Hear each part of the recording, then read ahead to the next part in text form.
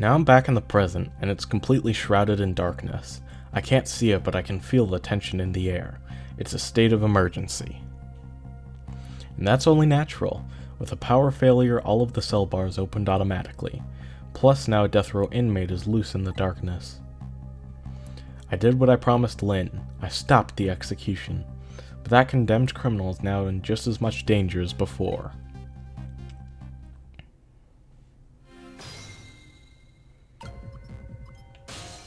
Hello guys and welcome to TGN the Game Nerd the Show. I talk about roleplay games and today we're going to be playing Ghost Trick Phantom Detective. In the last episode, if you don't remember, we went ahead and we stopped Detective Jowd from being executed. And in this episode, we're going to go ahead and see if we can get him out of prison. The darkness is thick, but it can also be our friend. Right now, it's what Detective Jowd is hiding himself in. I hope the detective is alright in this blackness. I better find him fast. Come to think of it, he gave me some advice. Head for the spoon, he said. I wonder what that was all about.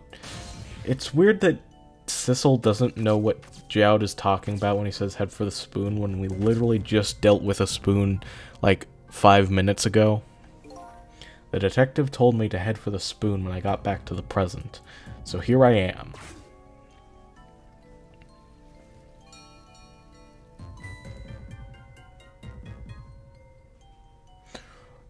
Bell, I better go back. I don't know what voice to give him.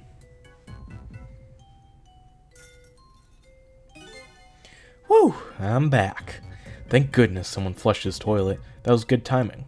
Now to use the cover of darkness to help the detective escape. But first, I have to find him.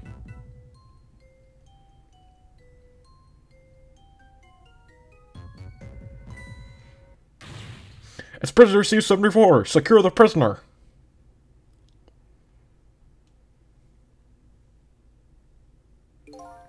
Hmm. It looks like there are hunters in this darkness. I hope they haven't found Detective Jowd. This, I will say, is probably my favorite chapter in the game, right next to the last couple of chapters.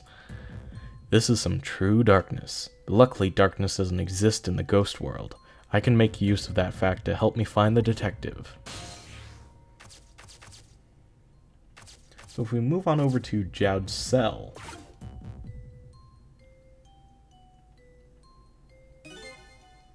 Huh? What's that red light? Hmm, it looks like the hunter's eyes glowing red.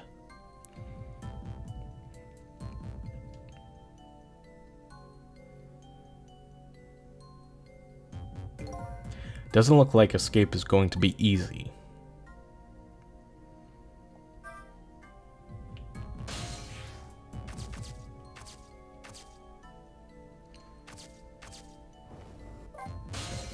Hey there, Jowd. Ah, there you are. I was wondering what I was going to do. Are you the one who made that toilet bell ring? That's right. I still had another napkin lying around. Thanks to that, I managed to make it here. But how did you know to do that? I learned a few things about your ghost tricks during our time together. They certainly can be very useful powers, but at times not so much. I knew that if the internal phones weren't working, you'd be trapped in the death chamber area. So I quickly came up with an alternative route. A route that made use of sausage head spoon in my napkin. Wow, this detective is good. Next time you praise me, go ahead and say it out loud. Anyway, it looks like it's time for a strategy meeting. An escape strategy, huh? This could be interesting. Let's do this. So, let's make sure we're both clear. The key to my escape is this darkness. Once the basement power supply is restored, escape will be impossible. So I move under the cover of darkness, huh? I know I won't have much trouble with that. But I'm afraid I won't be able to see, so you'll have to lead the way. Lead the way? Once you find a safe spot for me to move to, I want you to give me a signal. Okay, fine, but how? The dead don't have voices. Even if they did, we have to be quiet. Don't you worry about that. I have an idea. Let's just try it and you'll see how it works. This detective likes to just dive right into things, even more than Lynne does. If they find me, I imagine they'll shoot first and ask questions later. But if I die again, we can just start over, right? He says cheerfully. I don't know if you know it or not, but this is a special prison. There aren't any dangerous criminals here, except for me, that is. Yes, I did hear something about it being a special place. Yes, and because of the special status, they're not prepared at all for emergencies. They have four timid security guards at most. I think I saw some hunters lurking in the darkness, though. Those are the guards. They're wearing night vision goggles. Night vision goggles? They're special glasses that let you see in the dark. Very handy things. If I enter their field of vision, it's all over. So it's all about staying out of the guard's line of sight, eh? Make sure you guide me to safe spots. So yeah, it's time to bust Jowd out of prison. Now, about that signal I want you to give me. Oh yeah, how am I supposed to do it? I've already been dead once. I don't know if it's because of that or what, but I can sense your powers now. Y you what? For example, you're in the bunk right now, aren't you? Wow, I'm impressed. I guess you have a sixth sense. I think it's more like a detective sense. Uh, that doesn't sound right somehow. Anyway, the details don't matter. Do you see this Jowd icon here? Yeah, where did that come from?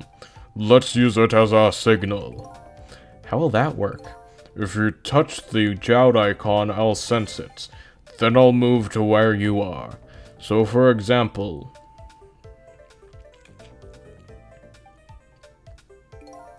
If you move to that spoon and touch the Jowd icon, I'll run to the spoon. Simple, right? Alright, fine. Let's start our escape plan. Just make sure you guide me to safe spots, Sissel. Okay, so that red light. That's the light of the night vision goggles on one of the guards. I can use the light to let me know where the guard is. And if you watch the light closely, you can tell how the guard is moving, too.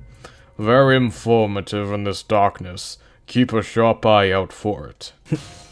Alright, so a bit of behind the scenes stuff here. This section only takes you, if you know what you're doing, around four minutes, maybe even three minutes, because there were some parts here where I waited quite a while and kind of forgot what I was doing there. This should only take you like three or four minutes if you know what you're doing here, but I guess I wrote some stuff wrong down in my notes, and so this entire section took me half an hour. And these videos are all already getting quite long with their 30 minute run times. Because uh, there's some some videos are even like there's one video back then that was like 50 minutes. And so i feel like videos that are long like these don't really need extra padding or fluff. I don't feel like any of my videos need any extra padding or fluff but especially not these ones and especially when that padding is 30 minutes worth of just me failing over and over again. So yeah, this chapter is something that I remember fond I remember fondly or I remembered fondly before going into this and then I played through this and it was just kind of like oh, this is not as fun as I remember it being. Uh, and it seems like a lot of people agree with me online. There are a few people who really do enjoy this section. Um, and maybe it's just a skill issue. I know that's a popular meme right now, but Maybe it's just an issue that I have with kind of not being the best at games. Uh, but this whole section was just kind of annoying for me. So, there are a few extra minutes until this chapter ends. If you're using this video as a guide, go ahead and just follow along with what I'm doing in the video. But basically, I'll just I just want to talk about how this game is getting a remaster. I believe that's the correct term.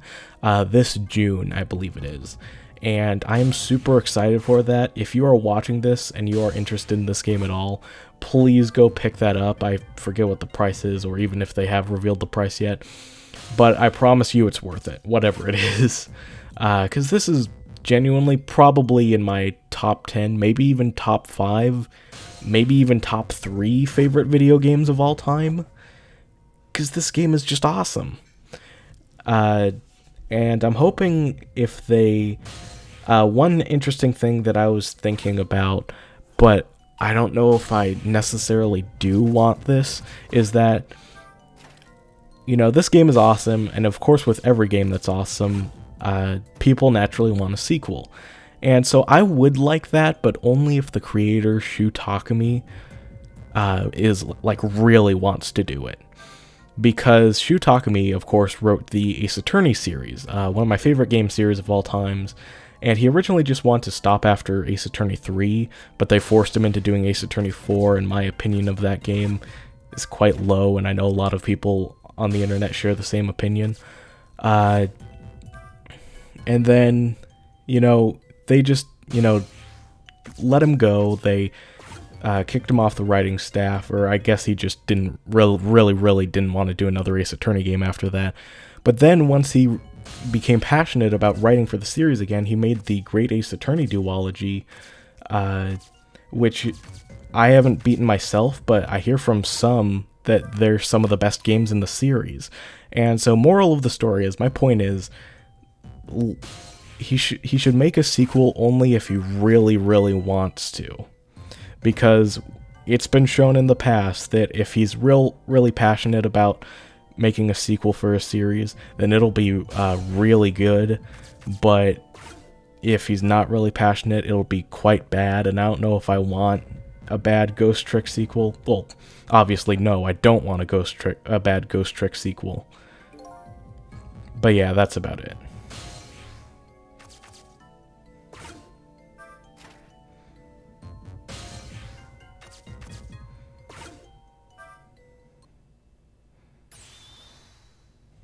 So, what do you think?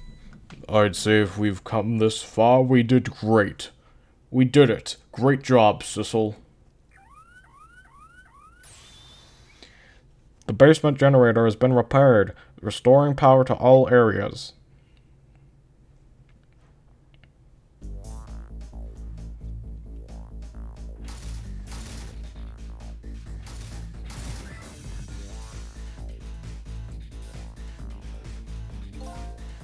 Whew, we made it. But the question is, what now? I don't have anywhere to go, do I? Maybe I'll go back to my cell. You'd better be kidding. I am not doing that again. But I'm still a condemned criminal, you know. I doubt anybody'd welcome me with open arms. Why don't you try contacting Lynne? She went to see some Justice Minister guy. So an escaped death row convict is supposed to just report in to the Justice Minister. Is that it? Hmm. I kind of like that. Anyway, after all the trouble you went through, I guess I'd better run. That would be nice, yes. Alright, Sissel, until we meet again. So now I've saved a condemned criminal's life and helped him escape. Was that really the right thing to do? I guess all I can do is believe in, in Lynne at this point. Detective Jowd was painting my picture in his cell. He knows me. I'm sure I'll be talking to him again.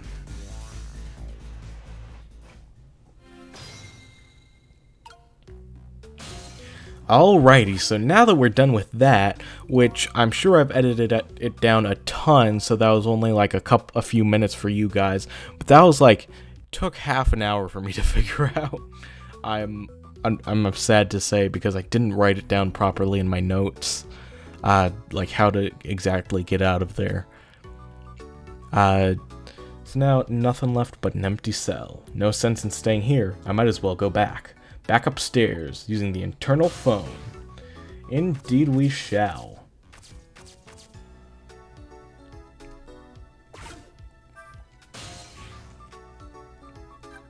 Let's head over to the guard room. That's what it's called, not Bailey's room. It's the room with Bailey in it, so that's why I called it that earlier. But Detective Jowd's Until We Meet Again came around quicker than I expected. When I got back to the guard room, the next fateful call came in.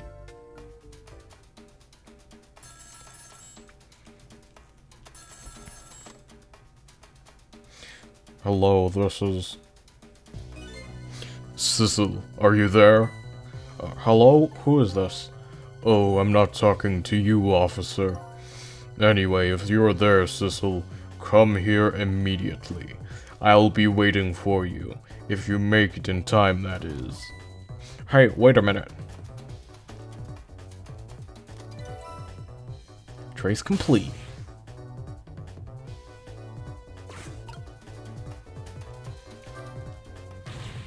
That call! Who was it from? I don't know, some weird call. Ah, but who? Will call an end to my dancing. Yeah, well, once you get going like that, I'm not gonna stop you. It's a contest, then. Which will stop first, my dancing or the turning of the planet?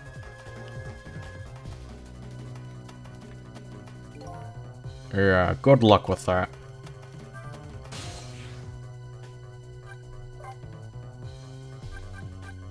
KMR 3243.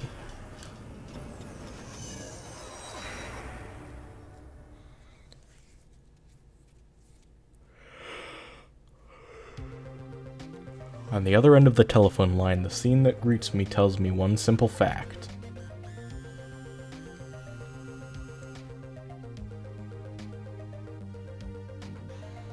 That our great escape plan has ended in failure.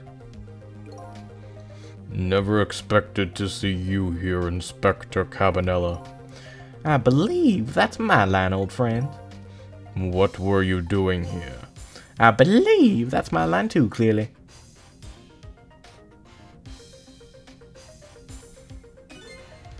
I came to attend to your execution. They told me what time it was. Couldn't get in the chamber, so I was observing a moment of silence here.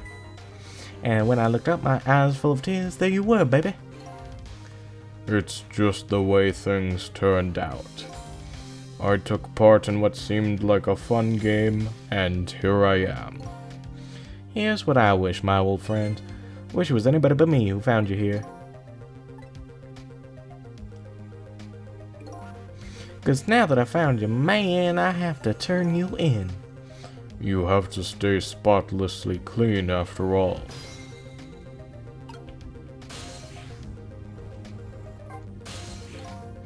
Thanks for coming. I wanted to say goodbye to you. As you can see, I guess I'm not going to be much help to you. What's going to happen to you? Being executed tonight is just about the only thing on my schedule, it seems. Executed, huh? Death is pretty much meaningless to me. Anyway, I guess we'll be seeing each other again. By the way, there's something I'm looking for. Oh, that's right. Your lost memory. You know things I'd like to know. Would you mind if I asked you a few questions? In return for tonight's fun little game, is that it? I saw it, you know. That picture you were painting in your cell tonight. That was me. Which means you must know me. I'm very sorry, but I can't talk to you about that now. what? Why not? Because I... I don't know your true face. My true face? I'm a detective. I can only talk about what I'm sure of. However, I can give you one lead at least. A lead? What is it? Long time ago I gave Lynne something to hold on to for me. It was a music box. If you ever come across it, I advise you to open it. It might jog your memory. That wooden box I found in Lynne's apartment. And that's the only help I can give you right now. That man pointing the gun at you right now, they say he's your good friend. We were when we were in the detective division together. That was a long time ago. Now he is the head of the Special Investigation Unit, the top of the elite. Getting ahead is the only thing he thinks about now. And that white coat of his is the symbol of his determination. His white coat? For somebody looking to get promoted to the top, what's the one thing they're afraid of the most? A blot on their record, of course, like a stain on a pure white coat. Who would promote a man with a coat covered in stains? If it was me, I'd go with a black coat that didn't show any stains. The world is full of excellent candidates. Even one mistake could be the end of a career. But everybody makes mistakes, right? Nevertheless, Cabanela has chosen the path of a white coat, and he'd do anything, anything at all, to hide his coat's shadows. Like send his good friend to the gallows. Bes because that's the right thing to do. I'm a condemned criminal after all. And that's why he has that gun pointed at me right now. Is your execution really the right thing to do? I have I had a fair trial and that's what was decided. No problem there. But still, this is the punishment that I should receive, in order to bring a final close to that case and put it to rest forever. Lynne believes you're innocent. She's running around right now trying to prove it. Is that all you have to leave her with? No problem there? I... I was sentenced to the death penalty for killing my wife Alma. But to me, that's not all it was for. What do you mean that's not all it was for? I'm talking about something that happened even before this case. I stole somebody else's life. What? It was ten years ago. I'll never forget it. That day I saved the life of a little girl, and I stole away the life of a man. Ten years ago. The life of a little girl. Could that little girl be... Lynne? She told you about that? Yeah, she said you were her hero. Now just calm down and drop that weapon. S stay back! If you come any closer, I'll shoot her!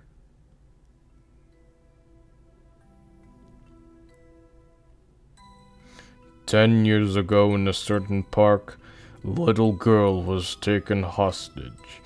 I was still young then. I didn't have any self-control.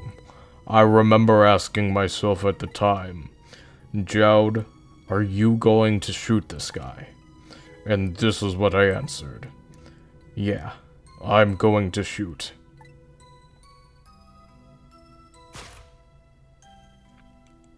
My hand was shaking a little. If my hand slipped, the man might die. Even the little hostage girl was in danger. Nevertheless, that was my answer. Yeah, I'm going to shoot.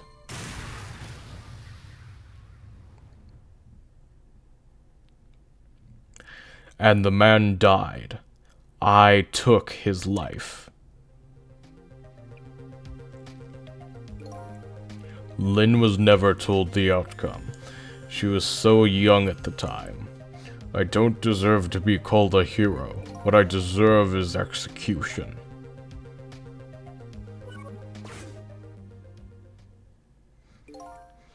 Ready to go? My arms are getting tired. You got it, baby. Time for the big show of hauling you on. Oh, that's right. Just let me make one last phone call. That's a big favor to ask so casually, my old friend. Tell you what I'll do. I'll pretend I'm not watching. I'll be listening, though. On that you can rely.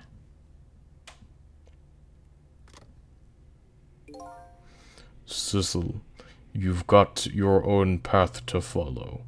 You better hurry. My own path? Lynne is at the Justice Minister's office right now, right? It might not be a bad idea to say my final farewell to him, too.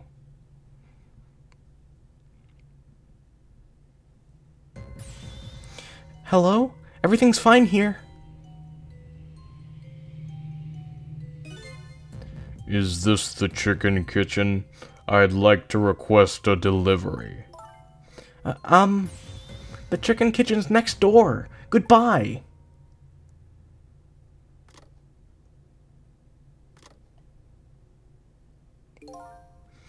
Hmm. It sounds like she's in some kind of trouble. It does, doesn't it? Go help her out, would you, Sissel? Sorry to keep you waiting, Inspector. Ready to go? Oh, before I forget, I have a little something for you.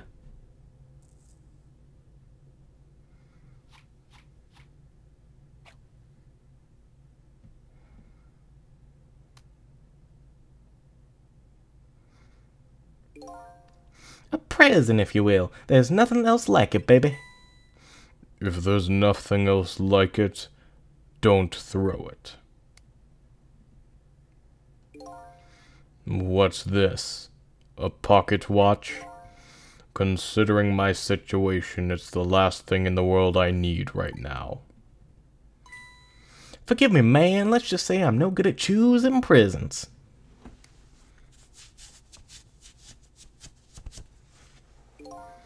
This is it, Sissel. Let me just leave you with one thing. Don't trust other people's memories. Look for what you seek with your own eyes. I'll remember that.